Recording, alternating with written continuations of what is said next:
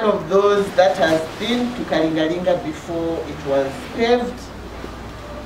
And at one time, I think um, we experienced where we had an ambulance getting stuck here before it could even leave to take a patient. So I got a call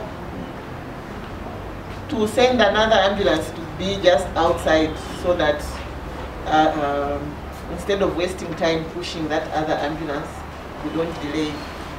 So I am uh, very grateful that um, uh, the paving project at Kalingalinga has not, not just uh, beautified the landscape of Kalingalinga, but has improved access even for our patients.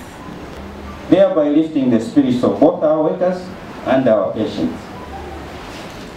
Guest of honor, ladies and gentlemen, as a responsible citizenry and in our continued desire to support healthcare facilities, your office, guest of honor, through the Kalingalinga uh, Clinic in charge, authorized CIDRZ to undertake the Today we are testifying the work that they have done with Kalingalinga Clinic. They have put a very attractive kind of paving which everyone now is talking about. Today, as community of Kalingalinga, I'm saying that uh, may the good Lord continue blessing and providing